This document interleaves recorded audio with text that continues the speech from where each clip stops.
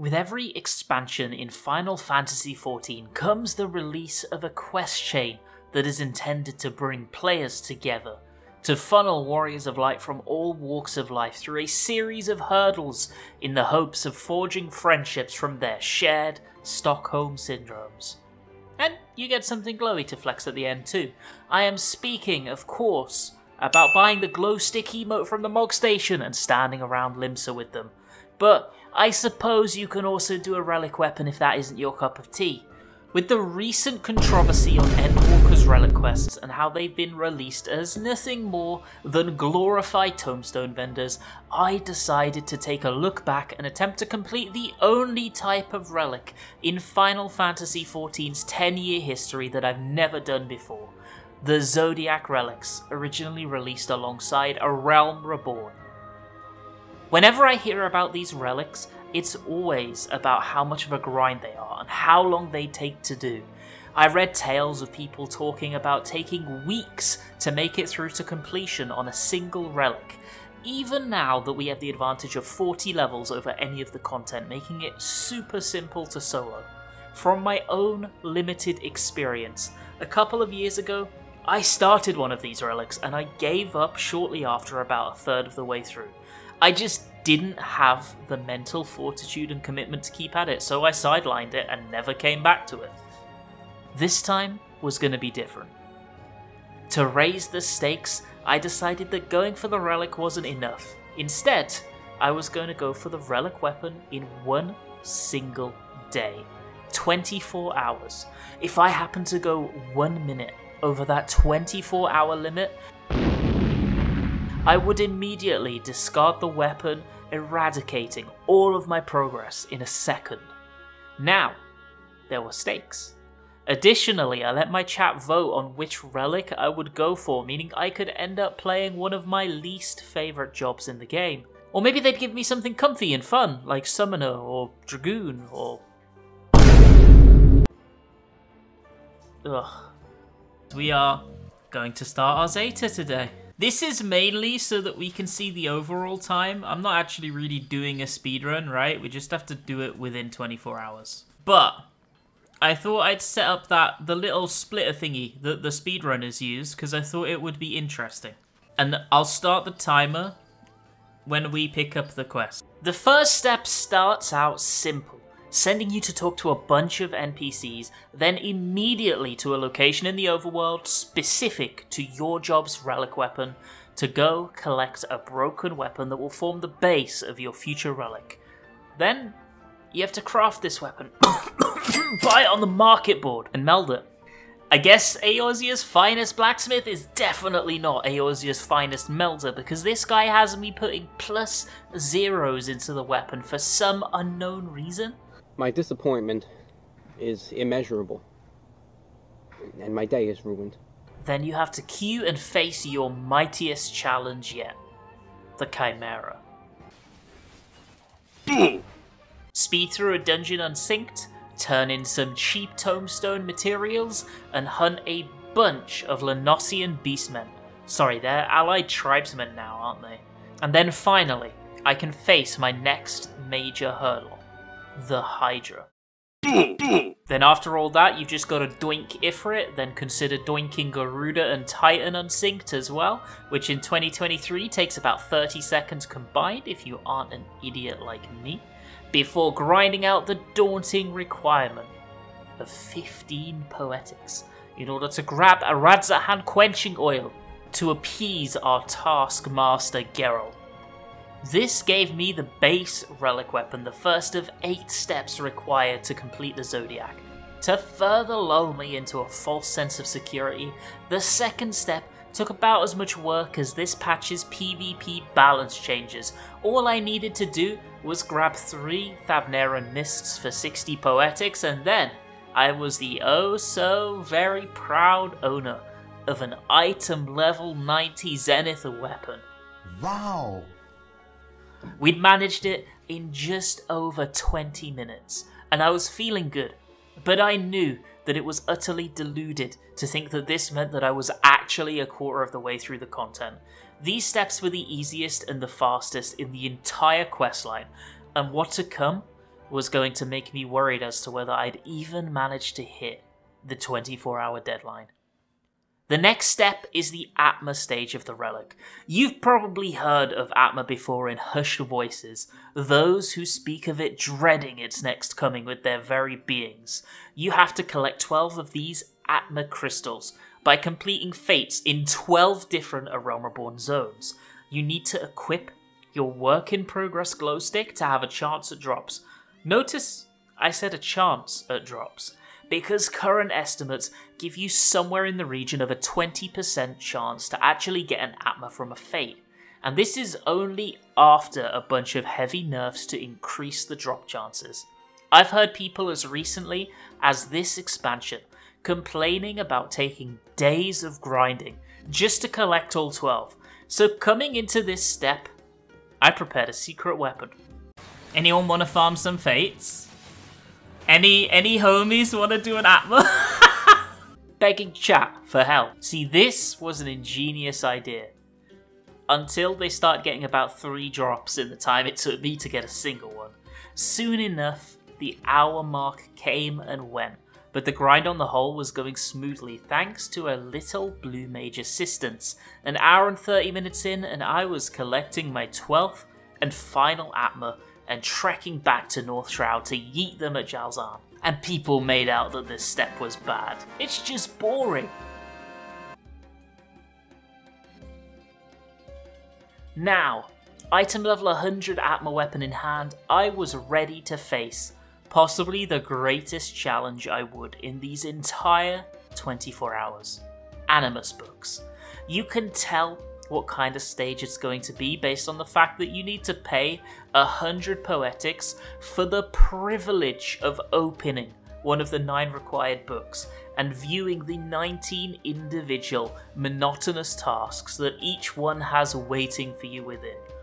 Every book has 10 sets of overworld mobs to find and defeat, usually for a total of 27 to 30 enemies, 3 dungeons to run, three fates to complete, some of which can take almost an hour real time to spawn, and three leave quests to complete. So, overall, we are looking at you expending 900 poetics, 90 sets of overworld mobs for a total of somewhere around 270 kills, 27 dungeon runs, 27 fates, and 27 leave quests in order to progress through this one single step. There are two parts here that are absolutely awful. First of all, a number of the 27 required fates have a relatively long respawn timer, making them fairly rare, and because I'm me and I have my luck, there is a solid chance that I will be sat there waiting for them to respawn for an entire hour, twiddling my thumbs.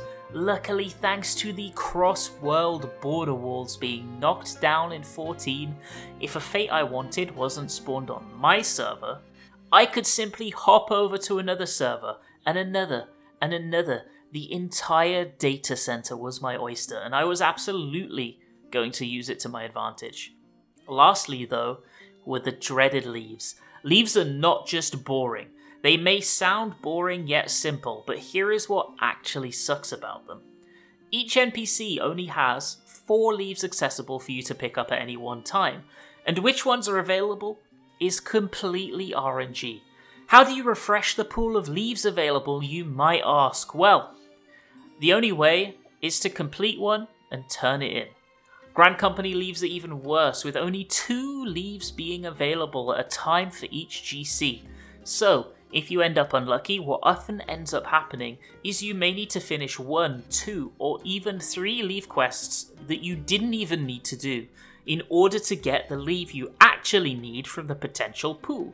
We ended up coming up with a solution for that as well though. A complete list of leaves required for all 9 books is readily available on the internet.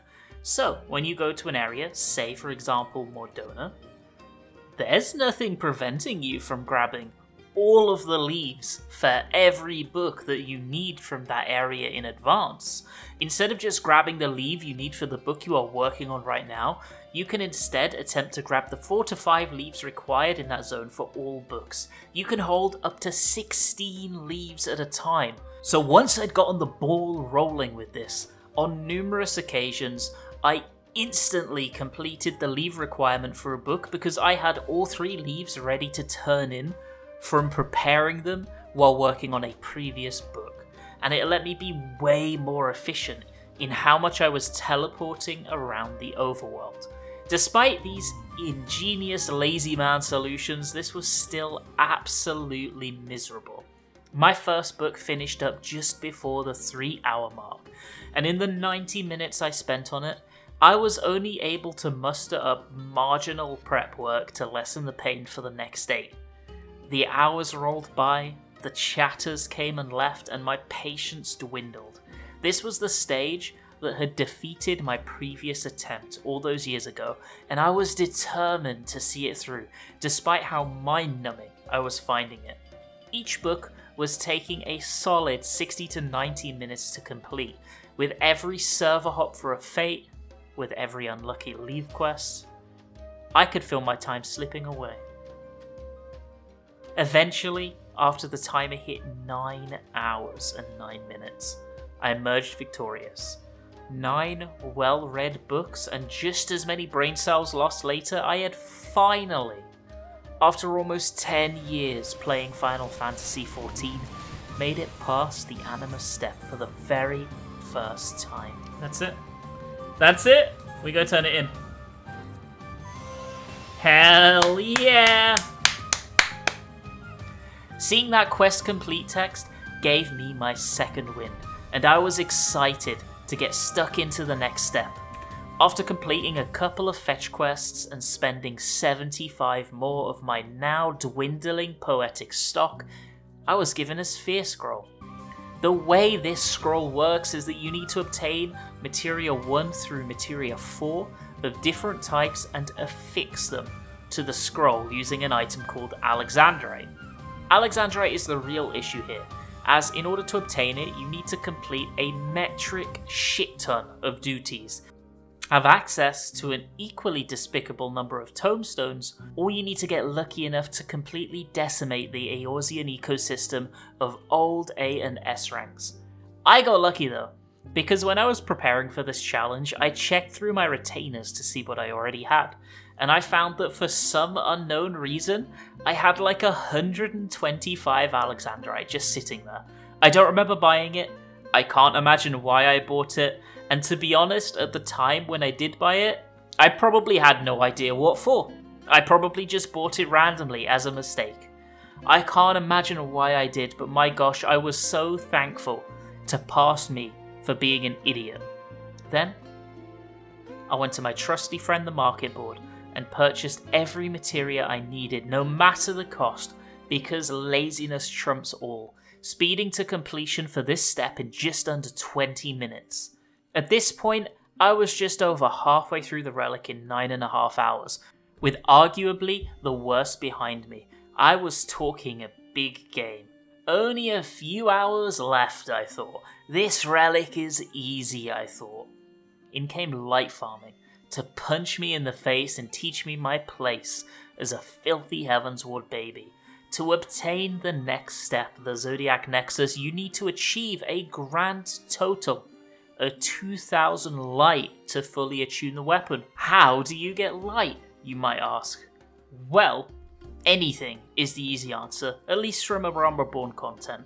You can get it from trials, from dungeons, from hunts, and even from old PvP. I would love to tell you that this step is fun and relaxing because you can get fast progress doing whatever you like, making that 2k goal fly by. But here's what you actually do.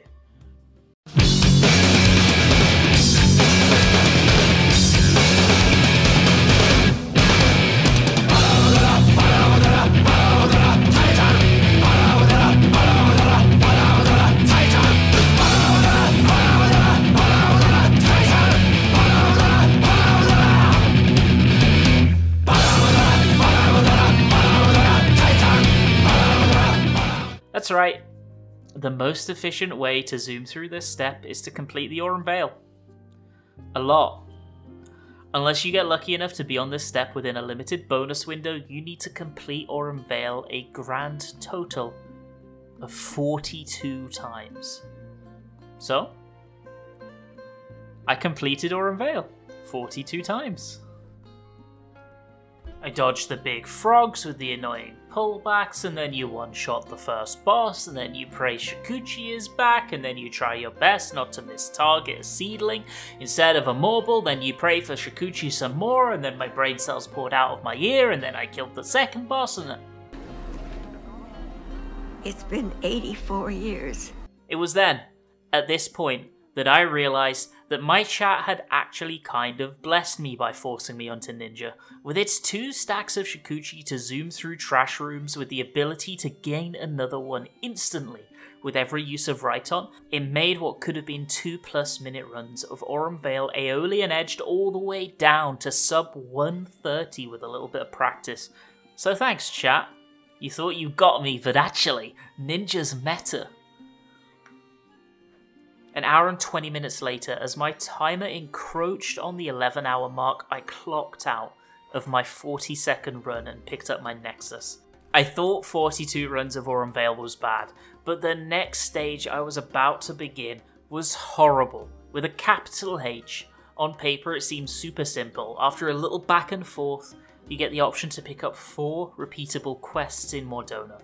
I never even knew this step existed until I started this relic quest, but it's the only point in the entire quest chain, and maybe in any relic that I can even think of, that you are required to spend a decent chunk of gil. You first need to buy 4 items for 100,000 gil a pop, that's the only way to get them, as well as 4 spring water for a total of 800 poetics, and 4 bombard cores for 80,000 Grand Company seals. Luckily, I had the seals just kind of sitting around, and turning my tombstone wallet upside down and shaking it a little bit dropped out the poetics I needed. But then I needed to grab 8 crafted items, one for each crafter job. I could spend a gross amount of time painstakingly gathering the prerequisite materials and making each one lovingly but instead I poofed to the nearest market board and dropped 700k to never have to think about it again. I kinda think it's worth it. You'd think we'd be free now. But after both of these demoralizing gil sinks, I then had to complete no less than 16 different A Realm Reborn dungeons to get the missing items to finish each of the four quests. There were some real bangers as well. A salacious starter of Sastasha Hard, followed by a delectable Stone Vigil hard mode main course, and if you weren't already full enough, for dessert there was, of course, a 43rd run of Aurum Vale on the menu too. I ended up just turning my brain off here and getting to work. For a step that I'd never even heard about, the almost two hours it took to complete took me by surprise. But it was okay because I was so far ahead at this point. Remember at the start of the video, this entire gamble was to complete a Zodiac Relic in under 24 hours. Well, at this point, 12 and a half hours into my stream, I was clicking accept quest on what was to be the final step. The step that would give me a completed Zodiac Zeta relic. Surely there's no way things can go wrong now, right? For this final step, light farming came back with a vengeance. You get 12 Mahatmas each of which you can attach to your weapon for 50 poetics, which then gives you the heavenly blessed privilege of farming two runs of Aurum Vale, yet again, to fulfill the light requirement of that Mahatma to awaken it and complete it.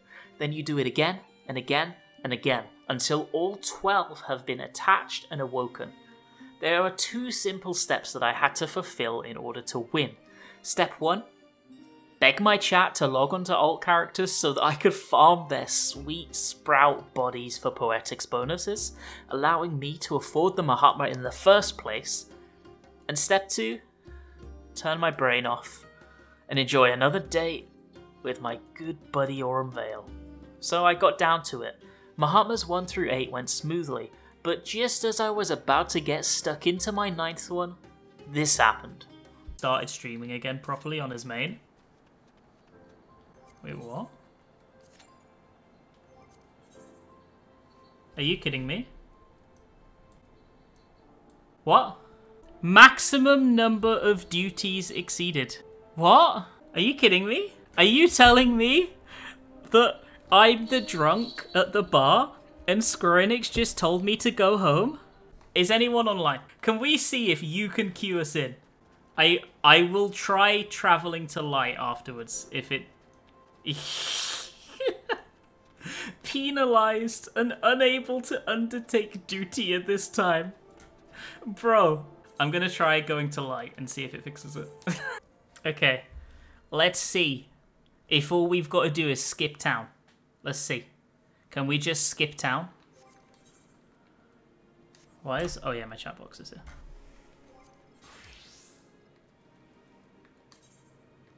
Unrestricted party. Aurum Vale. No! oh my god. It's all over. we tried. We tried, lads. We tried. we gave it our best shot. It was over. I'd been playing this game for almost a decade, and never before have I ran into this. I was shocked. A feature I'd heard vaguely of in passing, but never experienced nor known anyone who had ever hit it. In Final Fantasy XIV, there actually exists a Duty Finder daily cap. Based on my own experience here, it seems to apply specifically to dungeon runs and sits somewhere around the 100 region. I tried having another player queue me into duty, I tried server hopping, and I even tried data center traveling all the way over to light, all to no avail. My guess is that it's intended as a bot prevention system, which is totally valid, and when you hit the hidden internal cap for the day, you are given a complete duty finder ban until the next daily reset. But in this case, me, with my own two ninja daggers, a can of monster energy, and a dream, had managed to hit the daily cap on my own and send the Square Enix fun police swooping down on me. And now, I was left with an incomplete relic and a duty finder ban until well past the 24 hour limit of this challenge. And as we agreed before, if it hits 24 hours, I delete the weapon. I was ready to give up and head to bed, tired, defeated, and frustrated, and with the inability to queue into any content, it felt like victory was going to be impossible. But then, I had a realization. There was one piece of content I could do that would give me light and didn't need me to queue into a duty to do it. And I could go and do it right now. Well then, lads. Well then, lads. Anyone want to do some fates? We we could either do some fates or I could go to bed, wake up tomorrow, and start the stream for one hour to finish it off. Fates. It always comes down to bloody fates. At least the fates are quick, eh? We got that going for us. If this was rough though, there is a reason that people opt to do dungeons for these light farms, and that's because in order to achieve what one dungeon run does for you in progression, you need to complete roughly 10 fates with a gold ranking. I was 5 runs of Aurum Vale away from completion, so I was looking at somewhere in the region of 50 fates to complete, on my own, at 2am at night. What was originally somewhere in the region of a 20 minute grind had suddenly become an hour plus fiasco. Luckily, the real heroes of the day came to the rescue once more. Members of my chat zoomed over to Cerberus, and we started hammering away at it. It may have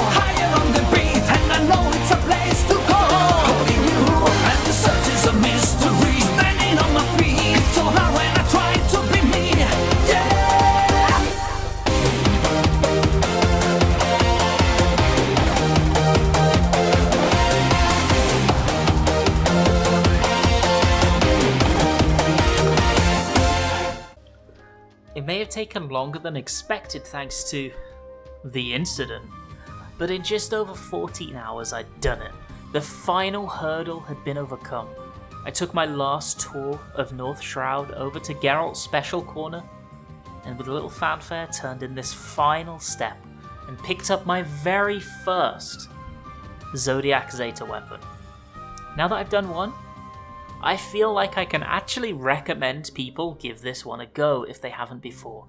The grind isn't anywhere near as bad as it's made out to be, and I can honestly see it being an amazing filler thing to work on while your friends are busy or you have an hour here or there spare. Just don't do it in a day like me, or you're going to invoke the wrath of Yoshi P's special forces. Now I can proudly stash these away in my retainer and never look at them again as long as I live. Thank you so much for watching friends if you like this video. Check out the one where I went for Lone Hero and almost had an aneurysm in the process. Have a great day.